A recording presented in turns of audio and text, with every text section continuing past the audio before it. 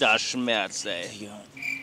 Scheiße, Oh, Mann. Scheiße. Nee, Mann, ich habe so ein schlechtes Gewissen. Guckt euch ich das hab auch an. meinen verdammten Job gekündigt und das Erste, was passiert, ist, dass ich einen scheiß M2 anfahre. Meine Lieben, meine Lieben, schön, dass ihr am Start seid. Zum 80. Mal das Intro, weil ich zu dumm bin und zum Beispiel Mari die ganze Zeit Marvi nenne, weil das in der Laden gleich Marvi heißt. Marvi, äh, Mari und Chanson. Ich, ich bin so dumm, ey. Wir machen es beim nächsten Mal. Egal. Ihr habt es im Titel gelesen. 1000 Euro Trinkgeld für den besten Döner. Ich denke, das erklärt sich alles und der Rest erklärt sich im Video. Wir wollen nicht lange labern. Ja. Ab Wir gehen jetzt ab ins Marvi. Also wir sind hier beim guten Marvi, ne? beim guten Marvi. Ihr seid der einzige Döner in der Hafen City, ne? Der einzige Dönerladen, oder eher gesagt Dönerrestaurant. Special auch zweiter Laden, den ich in meinem Leben hatte, wo der Dönerspieß nicht im Laden zu sehen ist. Ihr habt den nur hinten. Wir haben den nur hinten in der Küche. Ja. Ist aber ein Jabrak-Spieß, auch dünn geschnitten, Jungbulle. Was denkt ihr Jungs, wenn ihr Japrak-Spieß hört? Ich denke, als, erste, als allererstes denke ich an Jarak. Das ist aber was anderes. Aber ich denke bei Japrak Spieß an was Geiles, Ja. was Saftiges. Das ist was Gutes, ne? Denke ich schon. Das ist was Feines. Also für uns nochmal Lagebesprechung, Jungs. Wir werden das so machen, die Zuschauer wissen das ja auch noch gar nicht. Wir wissen jetzt noch nicht, welcher der Beste sein wird, logischerweise. Wenn jetzt der hier der Beste ist von allen dreien, wir gehen zu drei Dönerläden heute, dann wenn wir später nochmal wiederkommen, entweder eine Cola bestellen, irgendwas Kleines, Entspanntes und werden dann das Trinkgeld rausrücken. So werden wir es machen. Und irgendwas wollte ich noch sagen. Dass er verdammt gut ausschaut. Alter, und ihr erst. Danke, Mann. Lüge, Lüge, Lüge.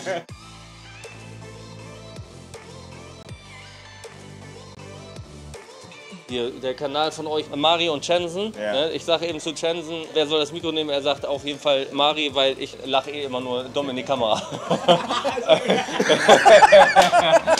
Ja. Schön gesagt. Wollen wir so dämlich zu dritt genau nebeneinander sitzen? auch Wir gehen so auf ganz hässlich, wie die Idioten sitzen, alle, alle Ja, hier ja. nebeneinander. Ja, ja, geil. Das, ja, das passt. Eng ist gut. Ähm. Hast du genickt gerade? Die Kamera. Ja, hat genickt. Oh, oh, guck mal.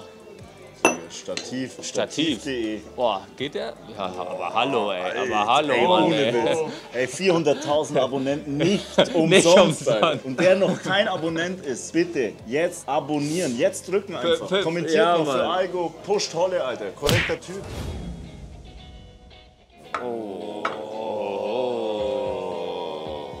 Sehr, sieht gut aus, Der Jungs, sieht ne? mega geil aus. Schau mal. Und duftet. Boah. Probier mal ein Fleisch hier, Mari.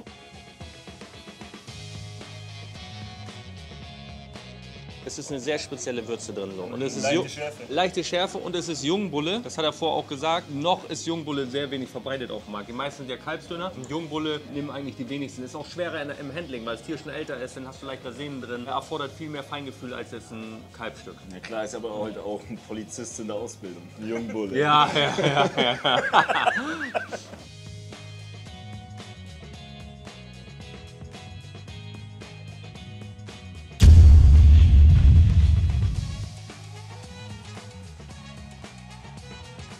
Also ich habe selten gehabt bei so einem Döner von der Beschaffenheit auch wie das Brot hier, so dieses Feeling, wie das Fett ins Brot reingeht und so ein bisschen, ich sag mal, diese Würzung fühlt sich so ein bisschen rustikal an, so wie eine Trockenwürzung. Es schmeckt sich ein bisschen beinahe wie so eine Trockenwürzung an. Weißt du, wie das schmeckt? So ein bisschen so bratwurstmäßig so. Findest du, ja? Ja, also so- auf jeden Fall sehr special, da sind Ja. wir uns alle einig, ne? Also es ist ein sehr, Sehr- specialiger Geschmack. Also auf jeden Fall besonders. Mhm. So kann man mal, muss man mal abchecken. Muss man abchecken. Ja, wie so eine Trockenwürzung. Fast so ein Steak, so schmeckt das ein bisschen. Genau. Keine Bratwurst, sondern so ein Steak. Mhm, ein Trocken einfach. Genau. Soße fehlt auch gar nicht. Ich bin eigentlich ein Soße-Fan, aber fehlt nicht. Das geht durch. Ja, Mir ist nicht aufgefallen, dass keine Soße ist. Du hast einfach gegessen, hat geschmeckt, aber es Ja. hat dir nicht gefehlt. Genau. Genau. Und das ist schon bemerkenswert. Jetzt bräuchte ich einen Vergleich. Zum Glück haben wir noch zwei. Wir haben noch zwei, aber ich sag mal, das ist schon, das ist schon eine Ansage irgendwo. High Level. Ohne Witz, Mann. Einzigen Kritikpunkt hätte ich im Biss vom Fleisch. Das ist teilweise so ein bisschen. Ich habe jetzt nicht wirklich eine Sehne gehabt, aber es war schwer zu kauen. Das ein oder andere Stück. Aber ich gehe so weit, ich sage immer bei meinen Videos, wir bewegen uns in einem Standard-Ranking. Das heißt, Spieß geliefert von einem Industrie. In dem Bereich ist das schon eine gute Nummer. Also sowas kriegst du selten. Das kommt jetzt aus so einem Betrieb, der mehrere Spieße, so Großbetrieb. Da ist es dann selbst nochmal gewürzt. Nee, meistens so, die liefern ein, zwei Muster. Du sagst, was für Gewürze du haben willst. Du sagst, äh, so. soll es kalt sein, soll es vielleicht Jungbulle sein. Und geben Vorgaben. Aber im Großen und Ganzen sind es halt Produkte, die viele Leute beziehen. Also ich muss sagen, mir taugt die Schärfe übelst geil. Also mir taugt das auch. Mir taugt das auch richtig geil.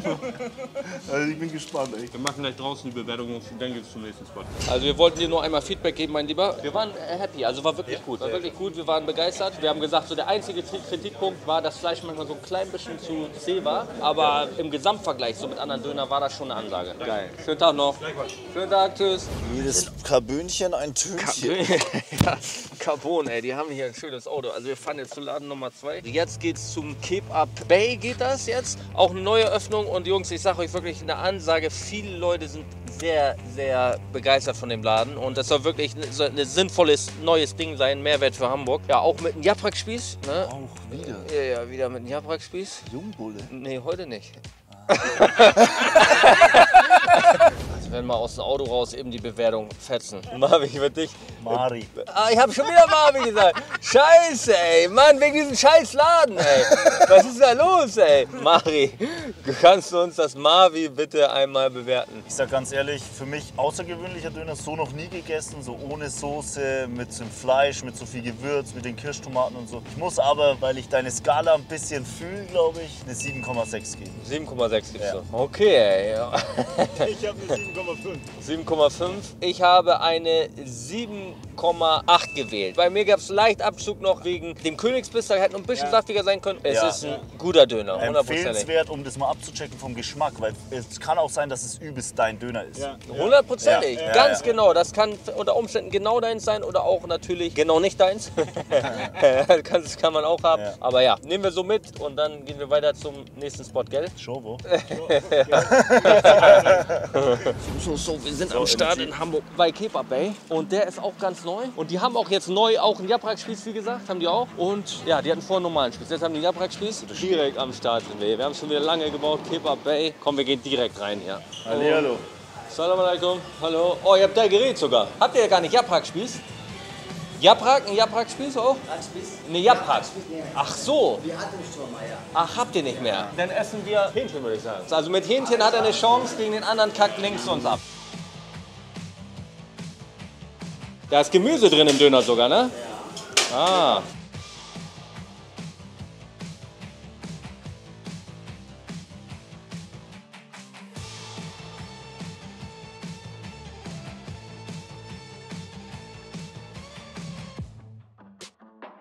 Ich muss sagen, ich habe schon ein Stück Fleisch erwischt. Und? Und ein Stück Fleisch ist schon Hat auch Power, ja? schön würzig, muss ich ehrlich sagen. Also ich finde auch, das sieht sehr gut aus.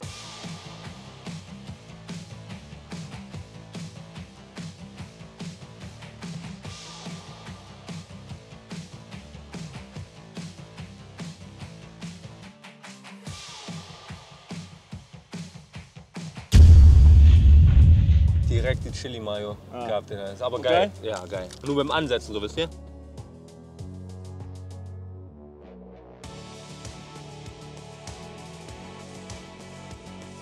Ganz andere Döner. Komplett anders. Komplett. Und es ist wirklich Mayo, Mayo, wie er gesagt hat. Bei mancher Mayo merkst du es gar nicht. Du hast einfach so den Geschmackskick, aber du schmeckst Mayo wirklich raus. Hinten Ja. raus. Hähnchen ist geil. Was, wie ich finde, direkt erstmal auf den Fokus gerät, was auch unterschiedlich ist zu anderen Döner, ist das Brot.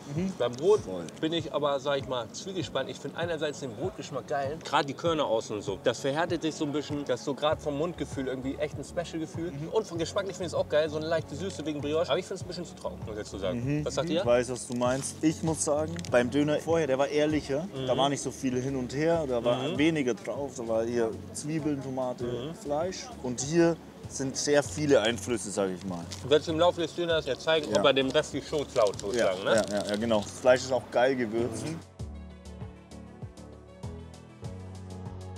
Das ist Kategorie Döner. Die wird zum Schluss deutlich besser. Der Königsbiss ist hier Welt. Viel besser als eben der Laden. Und du hast so die perfekte Kombi von dem Brot Kross, was eigentlich vielleicht ein bisschen zu trocken ist, mit den Soßen hier jetzt Da unten, wunderbar. Mann. Ja, wunderbar. Der wird ja anders. Ganz der anders, wird ja. ja. an- Mit der Mayo, ne? Ich hatte gerade schon fast um.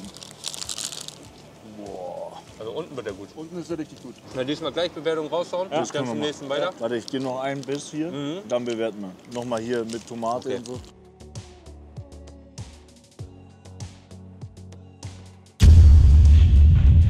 Es ist mein Döner, Hähnchen, geile Soße und Sinan mies sympathisch. Ui, ui, ui, stark, stark. Ansage. Geil. Wir müssen den vorherigen gleich mit reinnehmen, finde ich, weil wir vergleichen ja auch. Du musst es an dem ausrichten quasi. Ja, du musst es und an ich dem muss ausrichten. sagen, der erste Döner war besonderer, aber es ist, das hier ist mehr so das, was ich essen will. Und deswegen gebe ich eine 7,7. Okay. 0,1 besser. Okay, geil, geil. Ich finde es eine sehr realistische und gute Bewertung von euch, muss ich an der Stelle sagen, wirklich. Erde. Ja, sage ich nicht oft. Ich sage auch oft, ich denke mir, was, was labert ihr für Scheiße, aber am Ende des Tages lässt sich über Geschmack nicht streiten. Für mich ein Döner, in den musst du reinkommen. Sowohl die Anfangsbeschaffenheit, weil es einfach zu trocken war, als auch der Mayo-Touch hat mir am Anfang nicht gefallen. Aber dann kommst du rein. Und dann kam er richtig gut. Wirklich ausgefallene Soße. Auch Ich hatte so eine leichte lakritzige Note auch zwischendrin. Also wirklich ausgefallenes Ding. Auch zum Schluss, Petersilie kam noch reingeschossen. Ich bin schon am Bewerten gewesen. Auf einmal Petersilie noch super. Aber ich komme über den ersten Eindruck nicht ganz weg. Und deshalb 7,6 Punkte von mir. Ja, also, puh, das wird ein enges Rennen, ey. Fuck, Und und jetzt erwartet letzte, uns? Jetzt erwartet uns Hakan Abi. Das ist, der hat so eine heftige Promo-Aktion gemacht. Der ist so mit einem Mob durch die Stadt gerannt. So Hakan Abi, Hakan Abi. Voll viele sind aufmerksam durch den geworden. Jüngster Döner-Gastronom in Hamburg. Und so wie Grüße geht raus an Abu, der hat da schon ein Video gemacht. Da hat er geschrieben, Titel, Video habe ich noch nicht gesehen. Berlin kann einpacken. Berliner Döner kann einpacken, hat er geschrieben. Boah, ey, solche Ansagen gegen Oggi. Weiß ich nicht. Weiß ich nicht. Abo, Da würde ich mir noch mal überlegen, ob ich das Video offline mache. Ich habe noch nie so eine Toilette in so einem Döner. Okay, da werden wir mal einmal nochmal reinkommen. was passiert da? Sinan, wir sind schon wieder hier. Wir müssen noch deine Toilette einmal angucken. Einmal. Er hat noch nie so eine Toilette gesehen, sagt er. Was soll jetzt? pass auf, Bruder. Was soll jetzt kommen? Oh, das ist aber echt, ey. Und guckt euch mal den mal da Krank an. aus, ja, Mann. Guckt ihr das Bild an. An die Cutter könnt ihr ein Bild von mir da rein retuschieren, wenn ich jetzt hier stillhalte, bitte einmal. Guckt euch das Bild mal an. Los zum letzten Spot. Wir sind am Start jetzt hier bei Hakan Abi. Oh, hier ist ordentlich was los, ey. Puh, Jungs, sieht das aus? Ich sag dir ganz anders. Da, darf, ich, darf ich liegen, was passiert ist? Ding, ich habe immer noch Herzinfarkt. Ja, weil dann wissen auch die Leute, was los ist, damit jetzt nicht, weil die Stimmung gedrückt ist, nicht. Also, So ein schlechtes Gewissen. ja, du hast die Frontschürze, Carbonschürze vom Auto ge Ja, von meinem Manager. Scheiße, ey. Ja, weiter geht's. Ja, passiert. Aber ey, an alle Influencer da draußen, wenn ihr Bock habt mit uns Content Den Scheiß zu wir zahlen, brauchen- den Scheiß. Wir brauchen die Kohle. Ja, die wir Kohle. brauchen die Videos. Jungs, wir machen Kooperationen, das kracht. Bitte. Aber zieht euch mal rein, die Jungs, ne? Die wollten, das muss ich auch mal so sagen, die wollten den Tausender zahlen in dieser Dings. Ich sag, nein, seid natürlich nicht, aber die, die sind von ausgegangen, dass sie das jetzt zahlen. Ich weiß nicht warum, ihr seid einfach zu korrekt, korrekt, aber voll die heftigen Jungs, aber Ja, aber nein. der, jetzt habe ich den Tau ja gebraucht. Ja, ja, plus minus null jetzt. Ey, von so einem M2. Ich fahr zwei Zentimeter nach vorne, der Bordstein macht. Es macht übelstes Geräusch. Ja. Ey, jetzt. Ey, Erik, tut mir leid. Das, das, das Ich war, liebe dich, du bist der beste Manager ja, scheiße, ey. Hakan Abi, was geht, ey? Alles gut, bei dir auch? Ja, auch, danke, danke. Woher kommt der Name Hakan Abi eigentlich? Wieso Abi? Abi heißt großer Bruder Ja, und Hagan mein Name. einfach so, kam so rein, ne? Das ist was Gutes, Äh, das ist geil. aber du bist der jüngste Döner-Gastronom hier in Hamburg, habe ich mir sagen lassen. Ja, Ne? so aus. Äh, geil, ey. Geil. Also wir werden den Döner gleich probieren. Ist Hackanteil mit drin. 70, 30 oder was hast du? Nee, ja, 70 70, 30. Okay, ey. Oh, ey. Könnte, hättest mir auch Scheiße jetzt erzählen können.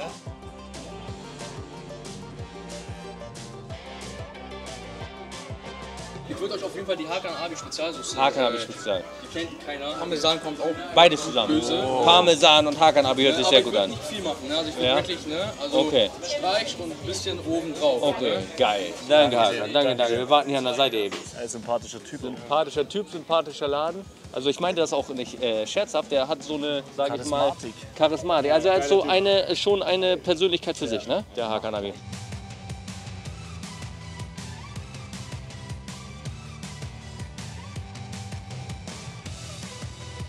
Ach, Brot können wir auch noch wählen. Ja, wir können zwischen drei Brote wählen. Ja, Sesam, Vollkorn. Brioche, Sesam, Brioche wäre gut für die Vergleichbarkeit. Ne? Wir haben eben auch schon Brioche gegessen, bei Kebab Bay. Was würdest du empfehlen, Kalb oder Hähnchen? Gemischt. Du würdest gemischt empfehlen? Oh, habe ich in YouTube-Zeiten noch nie. Das noch letzte Mal, dass ich gemischt gegessen habe, ist Da war ich ein Kind, als ich das letzte Mal gemacht habe. Ja, komm, machen wir. Und Brioche, wir nehmen äh, deine Parmesansoße und der Hakanabi-Soße. Okay, top. Geil.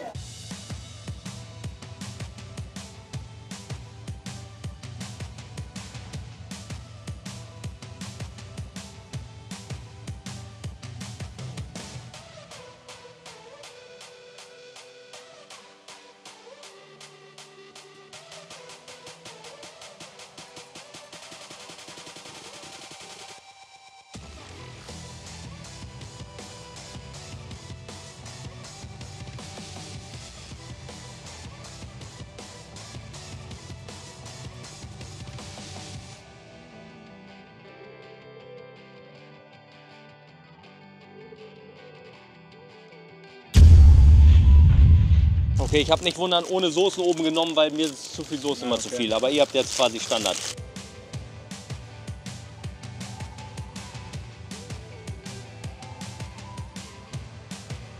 Äh, Brioche ist hier stärker als drüben. Äh, erster Eindruck zumindest. Wer weiß, wie es gleich kommt. Oh, jetzt kommt die Limette richtig gut durch. Das ist eine geile Kombi. Mit viel Fleisch oben und dann die Limette. Was sagst du gemischt Fleisch? Kann man machen, hat was eigenes, aber ich kann nicht so sagen, Fleisch ist jetzt gut oder schlecht. So, es Ich kann- schmeckt einfach gut, aber ich kann das Einzelne nicht so. Genau, man kann es halt nicht zuordnen. Genau. Das war schön Ich ausgedrückt. weiß nicht, ob das Kalb jetzt so eine Note hat oder das Hähnchen. Kannst wirklich nicht einordnen. Aber der ist brutal. Auch die Süße. Es ist brutal. Ich werde mich bedeckt halten. Ich will euch nicht zu sehr beeinflussen. Wir sind jetzt ungefähr gleich hier. Jetzt kommt das Stück hier unten. Ja. Das ist sehr Das entscheidend. ist Das, eigentlich der entscheidende Biss. das war eben sehr stark bei dem eben. Ja. Schöne Röstung hier auch. Channel, was sind deine Gedanken? gerade? Ey, brutal. Bei mir, Ja? ist, grad- bei mir ist wirklich brutal. Es macht Bock, den Döner zu essen. Es bringt wirklich Bock ins Essen. Er ist so vom Gesamtpaket, vom Anfassen und so vom Bockheitsgrad, ist es der Beste. Ist der Beste vom Anfassen. Ich möchte noch nicht auf Geschmack eingehen, weil, wie gesagt, wenn ich jetzt zu viel sage, dann lässt sich auch leicht beeinflussen. Aber so anfassen, bocken, er ist so einfach handlich. Und wirklich die Röstaromen, die kommen jetzt auch gerade. Wirklich. Handlich lässt sich gut essen einfach, ne? Für mich ist dieses Einschätzen, dieses Vergleichen von vorher so richtig schwer. Wie waren die Geschmäcker, wie war es, wie war das Gefühl beim Essen? Wenn man das ja. oft macht, ist was anderes. Aber wenn man das nur einmal macht, Ja, das ist wie, wie BMW einmal fahren. Also Sehen wir uns gleich an, was da passiert dann. Schwer. Wir essen eben zu Ende, dann Finale wurde auch von mir noch. Ja. Eins oder mehr. Oh Leute, das schmerzt, ey. Scheiße, Mann. Scheiße. Nee, Mann, ich habe so ein schlechtes Gewissen. Hat sich Wie angehört. kostet denn sowas? Jetzt mal ernsthaft, Ja, das ist ich eine bin gute ein armer Frage. YouTuber, Alter. Guckt euch ich das habe auch gerade meinen verdammten Job gekündigt und das Erste, was passiert, ist, dass ich einen scheiß M2 anfahre, Alter.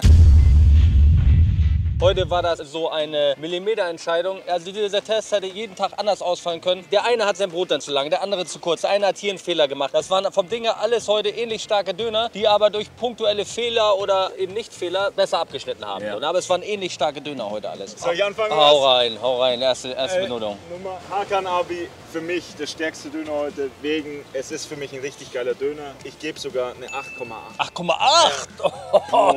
Ich finde es brutal.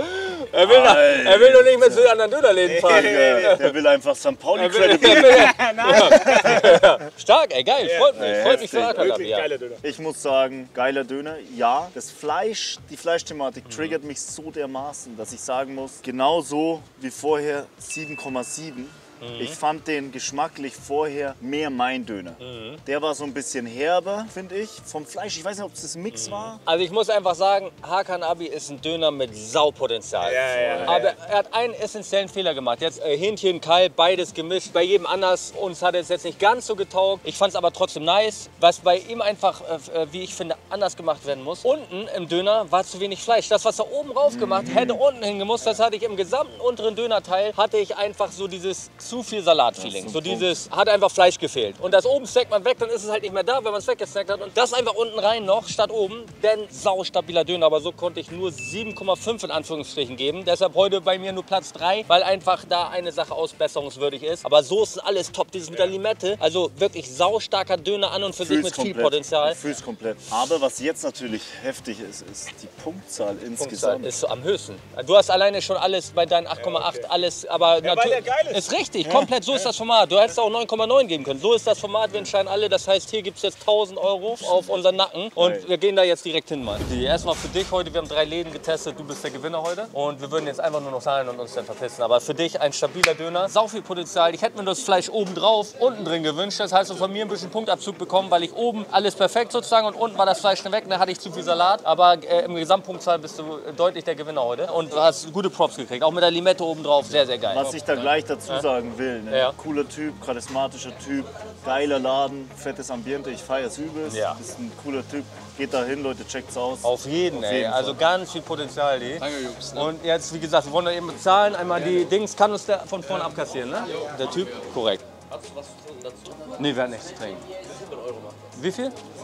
Okay, warte mal. Eins, zwei, sechs, acht. Hier, mein Lieber. Alles klar, mein Lieber. 1000 Euro für dich. Perfekt, danke schön. geil, geil. Ihr küsst dein, küsst dein Herz. hier. Ich habe mit allem gerechnet, aber nicht damit, Jungs. nein, nein, das ist für dich. Geil. Das ist Tausender für dich. Sehr gerne, nicht dafür. Schönen Tag, mein Lieber. Geil, ey. Was machst du mit dem Geld, Bro? Ich weiß selber noch nicht. Ich habe noch gar keine Pläne dafür. Geil, aber freust du dich ein bisschen, ja? er nimmt, steckt in die Kasse. Ciao, mein Lieber. Geil, also in dem Sinne, Leute, Ja, wir können dieses Bro. Format mit sämtlichen Sachen machen, ob es jetzt Burger ist, ob es mal ganz andere Sachen sind. Wir haben jetzt Gyros-Format angefangen und und und. Alles, was ihr wollt, schreibt rein, wenn es euch gefällt. Lasst einen Daumen oben scheppern. Ja, und dann sage ich auch nochmal Danke an die Jungs. Check, check das ab, nochmal den Kanä äh, Kanal von dem Jungs. Like, Kommentar. Was kostet es dich?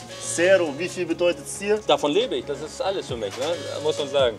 Kuss, Jungs, danke, bis zum nächsten Mal.